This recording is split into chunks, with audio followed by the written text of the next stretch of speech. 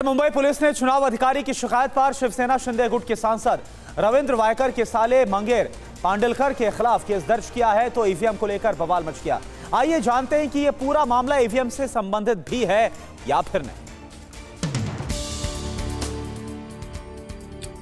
Mumbai police की FIR के मुताबिक चुनाव केंद्र में मोबाइल फ़ोन के प्रवेश पर बैन के बावजूद पांडिलकर ने फ़ोन का इस्तेमाल किया और ये फ़ोन केंद्र में मौजूद एनकोड ऑपरेटर ने पांडिलकर को दिया। दरअसल सर्विस वोटर के लिए बनाई गई electronically transmitted postal ballot system, यानी ई के तहत इनकोर ऑपरेटर के पास डाटा एंट्री के लिए एक फ़ोन रहता है।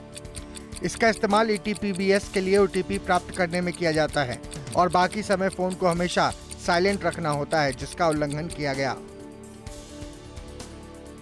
राज्यसभा सांसद और वरिष्ठ वकील कपिल सिब्बल ने कहा है कि महाराष्ट्र का मसला ईवीएम का नहीं है, ये इलेक्ट्रॉनिक बैलेट पेपर का मामला है, जिसे कंट्रोल किया जा सकता है। ये जो मामला है, जो महाराष्ट्र से उठा है, जहाँ 48 वोट से जो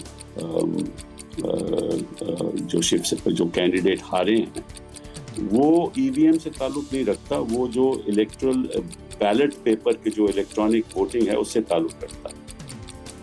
ठीक है ना? तो उसका उसका ईवीएम से डायरेक्ट ताल्लुक नहीं है इलेक्ट्रॉनिक बैलेट सिस्टम तो उसमें मैनिपुलेशन हो सकती है, क्योंकि वो तो इलेक्ट्रॉनिकली कंट्रोल रहता है।